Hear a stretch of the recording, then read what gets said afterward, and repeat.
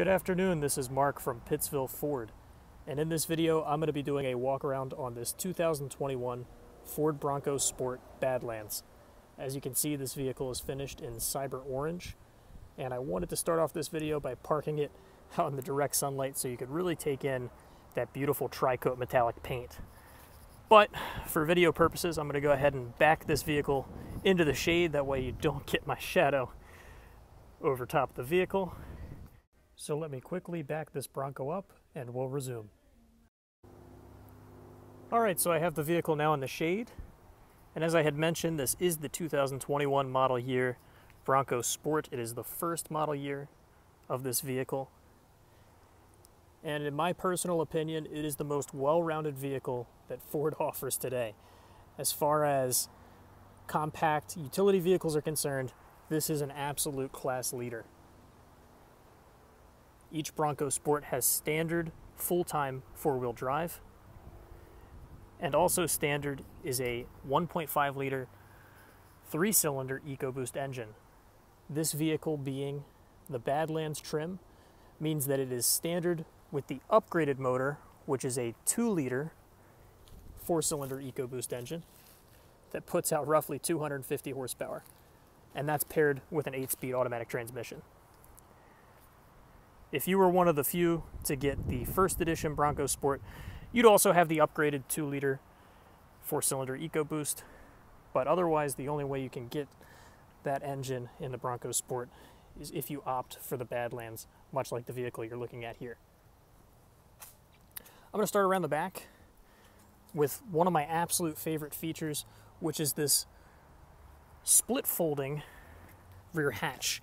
As you can see on the left side here, you have a label for glass. On the right side, you have a label for the door. I'm gonna go ahead and press the glass first.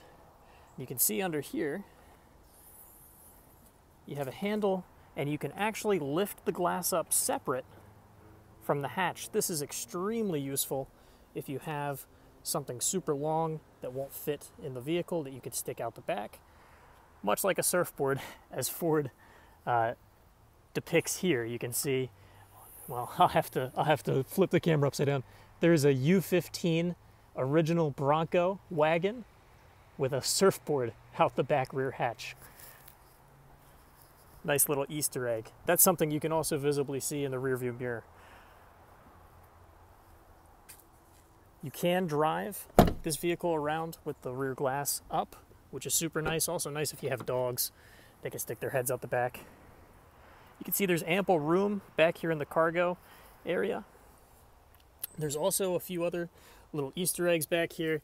You can see you got these grocery bag hooks. They have little lassos on them. Uh, these are really, really handy.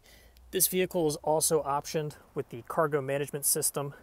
This piece right here, I'll pull out my tripod to do a demonstration on this. You can actually fold this and divide the cargo area up into pieces, and you can even use this as a table for the rear hatch. And that seems pretty convenient considering this button right here turns on two rear adjustable floodlights on both sides. And although it's daytime, you can't really put in perspective how much this illuminates the ground, but it's super cool to have. And even better still, on the right side, you have a bottle opener built in to the rear hatch. Really, really neat feature. I'm gonna go ahead and pull out my tripod and I'll go ahead and do a demonstration on the cargo system. All right, so standard, the cargo management system is in this position. It's got a little pull on this side. It's magnetized to stay in place. When you fold it flat like this, you can obviously use this surface as a shelf to divide your cargo. There's two locks on the top up here that are knobs. You twist them on both sides, and then you can move it into the second position which is about here. I'm going to go ahead and lock that in position. And then on the underside of this part of the shelf, you have two legs that fold outwards. And then this entire piece could be used as a table. So you could be hanging out with the floodlights on at nighttime, enjoying a meal. I also wanted to mention while I'm back here on the right side of the cargo area, you have a 110 volt household style outlet, as well as a 12 volt right here. I also wanted to mention that this Badlands is optioned with the Class 2 trailer package, um, which allows you to tow with the 2 liter engine, 2,200 pounds. If you have a Bronco Sport with the 1.5, you can tow up to 2,000 pounds if you have the Class 2 package optioned. I'm going to go ahead and close the cargo area, which also is fairly straightforward. You got two handles on the inside. You just pull it straight down. And I wanted to show off another exclusive feature to the Badlands, and that is a hidden storage compartment that is located under the passenger side rear seat. You can see it's a rubberized little storage compartment. You could put something in there and it would be very secure. Another standard feature on the Bronco Sports is the MOLLE strap system, as well as these storage bags, almost as if you have a book bag built into the back of both the front seats. It's pretty cool. You also have a USB C, USB um, input right there, as well as another household style outlet. That's on this vehicle in particular. Not all Bronco Sports will have the same equipment in the rear. You can see that the floor is actually a rubberized material. That is standard on the Bronco Sport Badlands, although it does come with these standard cloth floor mats. You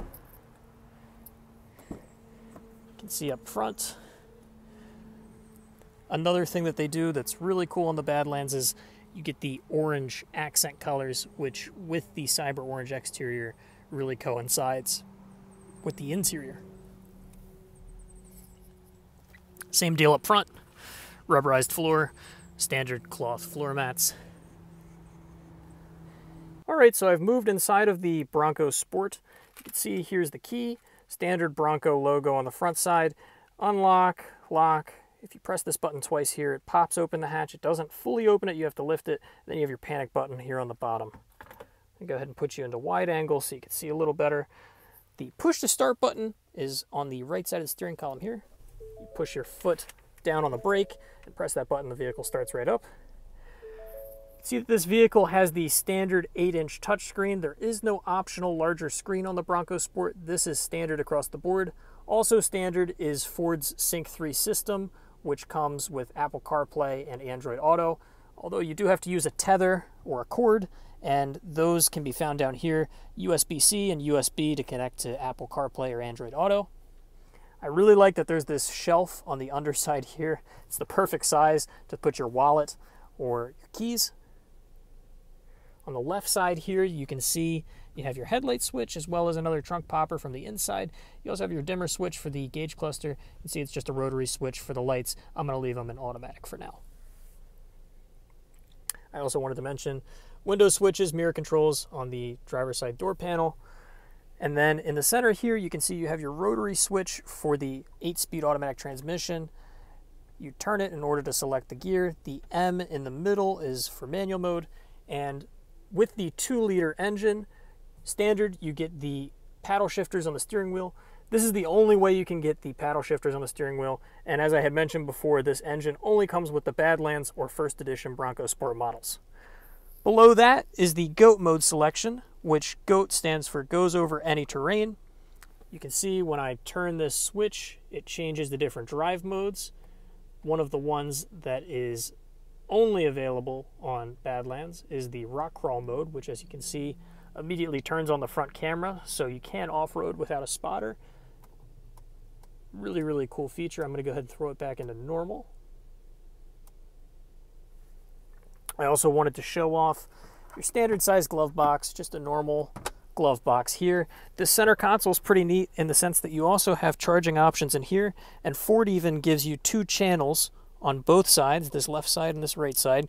So if you wanted to charge a device and have the charger plugged in here, you could still access it by running the cable through here with the console closed and be able to charge your device. I'm going to go ahead and turn on the lights and I'm going to walk outside of the vehicle so we can see what the LEDs look like on this Bronco Sport. You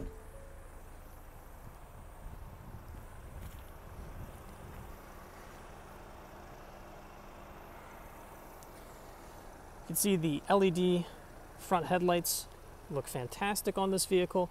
Another key feature that Ford is very proud of on this vehicle is the Safari roof.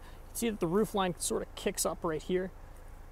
And that is in order to give you more headroom for the second row passengers. I have the seat currently in my position as a six foot one adult. I'm hopping back here and you can see I have tons of room, which is really awesome considering that this is a compact SUV and it will have absolutely no problem transporting four full-size adults. While I'm out here, I also wanted to show off the gas door in order to open it. You just push it in, it pops right out. You can see there's a little Easter egg in here. There's the different chassis codes for the original Bronco. And you also have a capless fueling system in here that's standard on every Ford model now.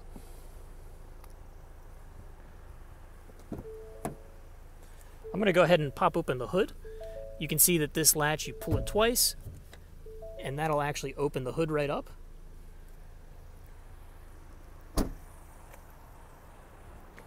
And we can take a look at this optional 2 liter engine.